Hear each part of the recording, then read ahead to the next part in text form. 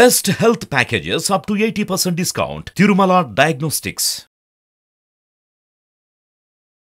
నమస్తే రస్తా గారు నమస్తే ఉష ఒక న్యూస్ మనం విన్నామండి భార్యకి రీల్స్ పిచ్చి అని దాన్ని తట్టుకోలేకే ఆవేశానికి గురైన భర్త క్షణిక ఆవేశంలో చేసిన చర్యన లేదు అంటే తనని ఇంకా దారి మళ్ళించే ప్రయత్నం తెలియక తీసుకున్న డెసిషనా ఏంటో తెలియదు కానీ మొత్తానికి బ్యాట్ తీసుకొని తల్లి పిల్ల ఇద్దరిని చంపేశాడని మనం విన్నాము.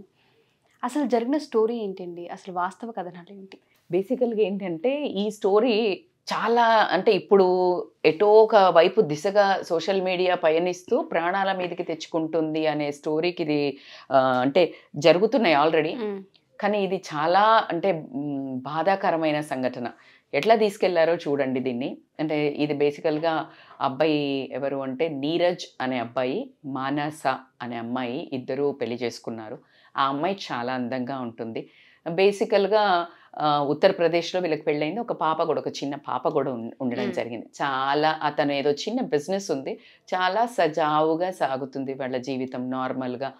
సాగుతున్న టైంలో మీకు తెలుసు. ఇప్పుడు ఫోన్ పట్టుకొని ఖాళీగా పని అయిపోయిన తర్వాత కూర్చొని అలా అలా స్క్రోలింగ్ చేస్తున్నప్పుడు యూస్ఫుల్ వీడియోస్ చేసేవాళ్ళు ఇవన్నీ ఉండటం వేరు. ఏదో రీల్స్ చూసింది ఆవిడ డాన్స్ చేయటము అలాంటివి చూసి మరి నార్మల్గా అటు ఇటుగా ఉన్న వాళ్ళే చేస్తుంటే ఇంత బాగా పోతున్నాయి. నేను ఇంత అందంగా ఉన్నాను కదా నేను ఎందుకు చేయకూడదు అని ఆ అమ్మాయి ఆ మార్గాన్ని ఎంచుకుంది. ఎంచుకున్న తర్వాత అలా రీల్స్ చేస్తున్నప్పుడు ఏమవుతుంది? రీల్స్ చెయ్యటానికి ఫోన్ ఎక్కువసేపు ఆక్యుపైడ్ ఉంటాము. వేరే మనిషిని పట్టించుకోవడానికి టైం తక్కువ ఉంటుంది. ఎలా అయితే వర్కింగ్ విమెన్ ఉన్నప్పుడు చేస్తూ ఉంటే ఎలా టైం తక్కువ ఉంటుందో?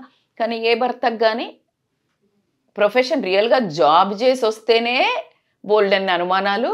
బోల్డ్ అంతా నువ్వు వెళ్ళొచ్చినా సరే నాకు యథావిధిగా మళ్ళా ఇంటికి సేవలు చేయాలి నాకు సేవలు చేయాలన్న మనస్తత్వం నుంచి బ్యాక్గ్రౌండ్ నుంచి వచ్చిన మన కల్చర్ అలాంటిది నువ్వు ఊరికే రీల్స్ అంటే ఊరికే స్టైల్గా తయారయ్యి నువ్వు ఎగరటం అవన్నిటికి ఇంకా ఫోన్ ఊరికే పట్టుకొని ఉండడంలో ఆయనకి జెలసీ స్టార్ట్ అయింది. ఆ జెలసీ వెనకాల ఏంటి అంటే ఆ అమ్మాయి చాలా అందంగా ఉండడం తను మధ్య తరగతిగా కనిపించటం. ఆల్రెడీ అతనికి ఎక్కువ వినిపించే ఏంటంటే కాకి ముక్కుకి దొండపండు అనే ఒక మాట ఆయనకి ఎప్పుడు వినిపించడం జరిగిందంట. అయ్యే వరకు లోపల ఆయనకు ఒకలాంటి జెలసీ. ఈగో బాధ ఇన్సెక్యూరిటీ ఇలా అన్నీ కలిసి రావటం జరిగింది. వచ్చినప్పుడు తను ఆ మాట ఏదో తన ముందు పెట్టడము గొడవలు అవ్వటము దాని మూలంగా జరుగుతూనే ఉంది. ఒకసారి ఈ సోషల్ మీడియాకి అలవాటు పడ్డ తర్వాత ఇది ఒక నష లాగానే.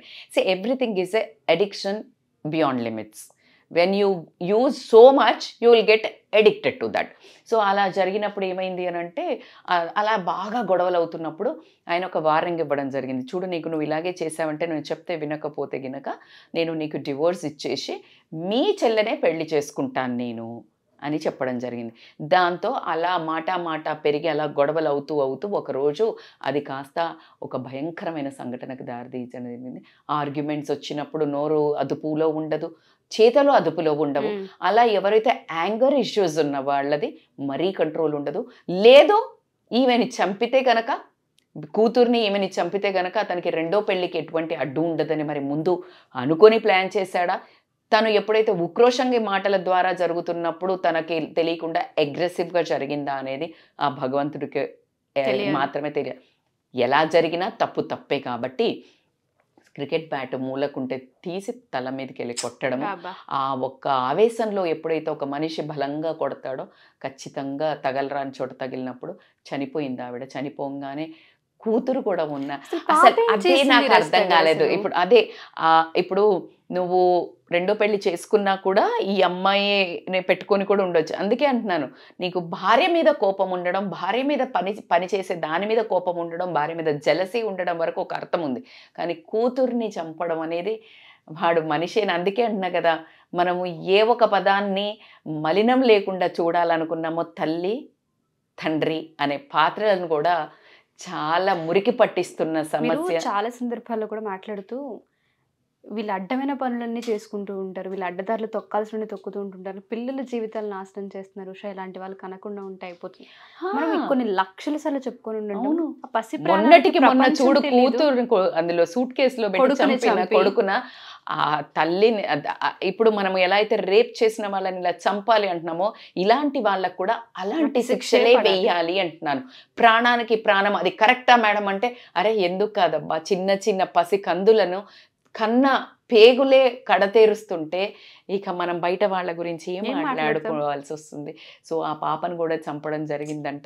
చంపిన తర్వాత ఆ మత్తు వదిలిపోయి భయంతో అప్పుడు ఎలాగ నేను తప్పించుకోవాలని చాలా తెలివి కల్లా. అదే ఆ తెలివి కాస్త ఎక్కడ పెట్టాల్సింది అంటే ఇలా జరుగుతుంది మా సంసారం ఇన్ని రోజులు బాగుంది ఇప్పుడు అటు ఇటు అవుతుందని ఎవరికో పెద్దోళ్ళకి చెప్పడం కానీ లేదు ఒక కౌన్సిలర్స్ దగ్గరికి కానీ వెళ్ళటం కానీ ఇలా ఒక డిస్కషన్ అంటే ఎవరికో ఇంట్లో బయట వాళ్ళకి చెప్తే గనక వాళ్ళు పది మందికి చెప్తారు అని అనుకుంటే గనక అంటే బేసికల్గా నీకు నాకు యాంగర్ ఇష్యూస్ ఉన్నాయి. నాకు ఈ అమ్మాయి కావాలి. కానీ ఆ ప్రవర్తన మాత్రమే నచ్చట్లేదు అని అనుకున్నప్పుడు they can take a help of elders ఇంట్లో వాళ్ళతో డిస్కషన్ చేయాలి. వద్దు మేడం మా పరువు పోతుంది అనుకున్నప్పుడు క్లోజ్ ఫ్రెండ్స్తో డిస్కస్ చేయాలి లేదు వాళ్ళకు కూడా తెలుస్తుంది మా పరువు బరు. హండ్రెడ్ పర్సెంట్ ఒప్పుకుంటా. ఇవాళ రేపు అలాంటి మంచి మనసు ఉన్న వాళ్ళు చాలా తక్కువ. కడుపులో పెట్టుకొని నీకు ఆన్సర్ చెప్పడం. అరే బాబా గల్లీకి ఒక కౌన్సిలింగ్ సెంటర్స్ ఉన్నాయి. మంచిగా నీకు రెప్యూటెడ్గా అనిపించిన వాళ్ళ దగ్గరికి నాకు వీళ్ళ దగ్గరికి వెళ్తే నా సమస్య నెరవేరుతుంది అనుకున్న వాళ్ళ దగ్గరికి వెళ్ళండి. మీరు వెళ్తే మీకు ఖచ్చితంగా ఒక సహాయం దొరుకుతుంది. ఏదో విధంగా. నువ్వు ఆమెతో కలిసి ఉంటావా? కలిసి ఉండు. నీకు కాని పక్షంలో ఎలా నువ్వు విడిపోవాలనుకుంటున్నావో దానికి కూడా ఒక మార్గం ఉంటుంది. కానీ చంపడం ఎక్కడి వరకు మార్గము? ఒక్కసారి అవివేకమైన డెసిషన్కి ఈ రోజు చూడండి ఏం జరిగిందో. నువ్వు చాలా తెలివిగా ఏమనుకున్నాడంటే దొంగలు వచ్చేసి అంతా వీళ్ళంతా విచ్ఛిన్నం చేసేసి ఆ, ఇంకా డబ్బు నగలు అన్నీ తీసుకుని వెళ్ళి ఈయనే దాచిపెట్టేసి గుండాలు వచ్చేసి చంపారు. అనే కథలు. అసలు పోలీసు వాళ్ళు ఇంత కష్టపడి ఇంత నేర్చుకొని ఇంత పోలీస్ వాళ్ళని ఈ మధ్య అందరూ ఏమనుకుంటున్నారో నాకు అర్థం కావట్లేదు. మన వాళ్ళు ఎంత ఆరుతేరి ఉన్నారు అని తెలియక పిచ్చిమొహాలు ఇలాంటి ఎదవ ప్రయత్నం చేసి చంపేసి ఇలా తీసుకెళ్ళాడని నన్ను కూడా కొట్టాడని అతను కూడా కొంచెం ఇంజూరీ చేసుకోవడం జరిగింది. అయితే పోలీసులు రాగానే జనరల్గా అలాగే అనుకునే స్థానంలో కానీ వాళ్ళ ఎంక్వైరీ అయితే వాళ్ళు ఎప్పుడు చేస్తారు కదా దుండగులు అన్నప్పుడు పక్కన గల్లీలో నుంచి ఉన్న ప్రతి ఒక్క సీసీటీవీని చెక్ చేయడం జరిగింది స్మార్ట్గా. చేయడంతో ఒక ట్వంటీ ఫోర్ అవర్స్కి more than twenty four hours ఎవరు రాలేదు ఆ ఇంటికి. ఓన్లీ నీరజ్ తప్పించి. So then it is very clear and మూలకి ఒక ఇంట్లో రూమ్లో మూలకి చూస్తే um, ఈయన ఫింగర్ ప్రింట్స్ ఉన్న క్రికెట్ బ్యాట్ దొరకడం జరిగింది దాన్ని అంతా తీసి వాళ్ళదైన చర్యలో అతన్ని. కౌన్సిలింగ్ అంటే లైక్ ఎప్పుడైతే అడగడం జరిగిందో. ఇన్వెస్టిగేషన్ స్టార్ట్ చేశారో సీరియస్గా ఆబ్వియస్లీ పోలీస్ దెబ్బలకెట్టు మంచి మంచోడే నిజంగా అక్కాలి కాబట్టికే ఖచ్చితంగా అతను నిజం చెప్పడం జరిగింది అతను ఆయన తీవ్రమైన ఆలోచన చూడండి భార్య నచ్చలేదు నీకు ఇలా చేస్తుంది డివర్స్ ఇస్తాను అను ఓకే. మరదల్ని పెళ్ళి చేసుకుంటా అనే ఒక నీచమైన ఆలోచన ఏదైతే అన్నాడో సో అతను ఆయన. ఆయన ఆమె చేసింది తప్పు అయితే వీడు చేసింది అంతకంతకు తప్పు.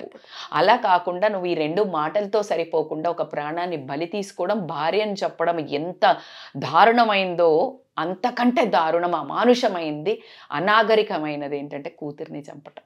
కానీ ఈ రోజు ఏం అనుభవించాడు నువ్వు ఇంకో పెళ్ళి చేసుకొని ఎంజాయ్ చేద్దాం అనుకున్నాడేమో కటకటాల్లో చక్కగా ఊచలు లెక్క పెడుతున్నాడు. సో దీన్ని దీన్ని ఏంటంటే ఎప్పుడైనా నువ్వు ఏదైనా ఇలాంటి ఒక లిమిట్ దాటి నీ నా అనాగరికతకు వెళ్ళిపోయి వెళ్ళిపోయావు ఏదైనా తీసుకోండి.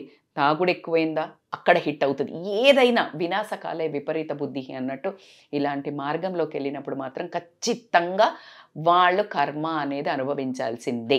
కమింగ్ టు ద రీల్స్ అసలు చక్కటి అందమైన జీవితాన్ని ఎందుకు నాశనం చేసుకుంటున్నారు?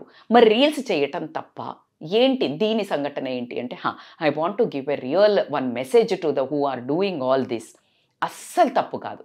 కానీ ఏదైతే సొసైటీకి యూజ్ అయ్యేది నీ ఫ్యామిలీకి కూడా యూజ్ అయ్యేది నీ భర్త ఆమోదంతో నువ్వు చేసే పని హుందాగా ఉందా?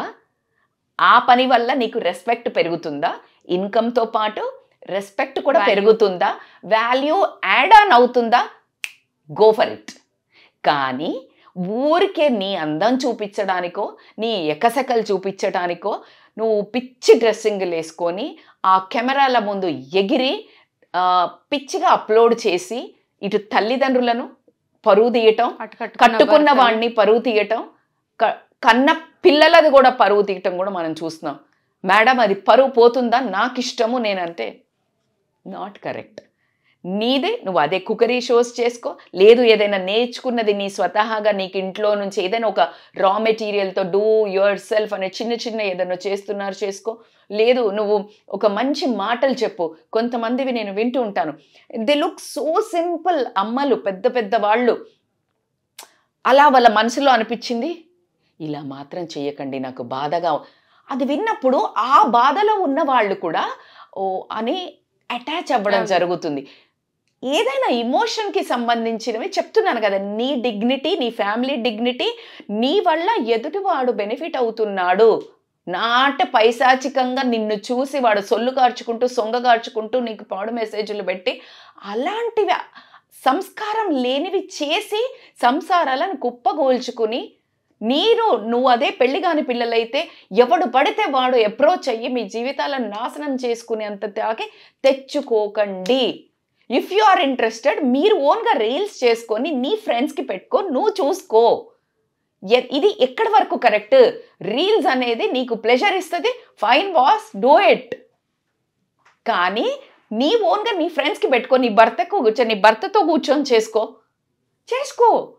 దాంట్లో కూడా చెప్పొచ్చు కదా. నువ్వు అది కూడా చెప్పొచ్చు అందంగా చెప్పొచ్చు. మనిషికి అందం కాదు ముఖ్యం. నా భర్త చూడు నాకు ఎంత సపోర్ట్ చేస్తున్నాడో. నువ్వు ఎక్కడో ఉంటావు. కానీ ఈ కుప్పిగంతు లేసి సంసారాలను నాశనం చేసుకొని ఇప్పుడు లాస్ట్కి చావే గతి తెచ్చుకున్నారు. ఇలాంటి వాళ్ళు చాలా మంది ఉన్నారు కాబట్టి I want to whenever you give this kind of issues I don't want to talk only on viral news Usha I want to give a some message అరే బాబా ఎందుకు నెత్తి దాకా తెచ్చుకుంటున్నారు? మగవాళ్ళు ఉన్నారు మీకు నచ్చలేదు. Just go for a discussion no తల్లిదండ్రికి చెప్పి చూడండి. నో మీ వాళ్ళ అక్క చెల్లెనో ఫ్రెండ్సో no come for a counselling easy way ఏం హెల్ప్ చేస్తారు మేడం? ఇంత దరిద్రమైన లైఫ్ అయితే అవ్వదు. నీకు నువ్వు ఊచలు లెక్క పెట్టుకోవడం కానీ నీ కన్న కూతుర్ని చంపుకోవాల్సిన అవసరం కానీ భార్యని చంపి నువ్వు జైల్లో కూర్చొని ఏముద్దరిచ్చావు పిచ్చి కాకపోతే. అందుకని ఇలాంటి మీకు ఇలాంటి అగ్రెసివ్ బిహేవియర్ ఉంది అని అన్నప్పుడు మాత్రం ఖచ్చితంగా కమ్ ఫర్ కౌన్సిలింగ్ ఫస్ట్ నేను దీన్ని ఎలా డీల్ చేయాలి? నాకు ఇలా నచ్చట్లేదు అనేది మీరు కౌన్సిలింగ్కి వస్తే మాత్రం మీకు చాలా హెల్ప్ అవుట్ అవుతుంది. So please approach your life in a sensible way sensitive way అని మాత్రం నేను చెప్తాను. Thank you so much Rachita గారు. మీరు చెప్పిన దాంట్లో చాలా పాయింట్స్ ఉన్నాయి. చాలామందికి ఇటువంటి ప్రాబ్లమ్స్ ఉంటూనే ఉంటాయి సో ఎవరైనా సరే మా ఈ వీడియో చూసిన తర్వాత ఎస్పెషల్లీ రిలేషన్లో కనుక మాకు ప్రాబ్లమ్స్ ఉన్నాయి అది కమ్యూనికేషన్ అవ్వచ్చు అండర్స్టాండింగ్ అవ్వచ్చు లేదా కొంతమంది మేము చెప్పే మాట వినట్లేదు మేము డివోర్స్ తీసుకోవాలనుకుంటున్నాం లేదంటే యాటిట్యూడ్ ఎక్కువ ఉంటుంది అగ్రెసివ్నెస్ ఎక్కువ ఉంటుంది ఇలా ఒక్కరికొకరికి ప్రాబ్లమ్స్ ఉంటుంటాయి. ఎటువంటి ప్రాబ్లం అయినా సరే మీ రిలేషన్లో కనిపిస్తుంది అంటే ఖచ్చితంగా రజిత గారిని అప్రోచ్ అయితే కనుక కౌన్సిలింగ్ చేయడం జరుగుతుంటుంది. చాలామందికి ఒక అపోహ కూడా ఉంటుంది. మేము కౌన్సిలింగ్కి వచ్చిన తర్వాత మా డీటెయిల్స్ బయటికి వెళ్తాయా అని దయచేసి మీ డీటెయిల్స్ అన్నీ గోప్యంగానే ఉంచబడతాయి. పేర్లు ఎవరు బయటికి చెప్పడం కూడా జరగదు. సో ఎవరికైనా ఇంట్రెస్ట్ ఉండి కౌన్సిలింగ్కి కనుక అప్రోచ్ అవ్వాలి అంటే రస్తగారి కౌన్సిలింగ్ కావాలి అనుకుంటే అది ఆఫ్లైన్ కావచ్చు ఆన్లైన్ కావచ్చు. కింద స్క్రోల్ అవుతున్న కాంటాక్ట్ నెంబర్ని కాంటాక్ట్స్ ఇస్తే రజిత గారిని మీకు పూర్తి వివరాలు అందిస్తారు. Thank you ma'am. Thank you so much. Thank you so much.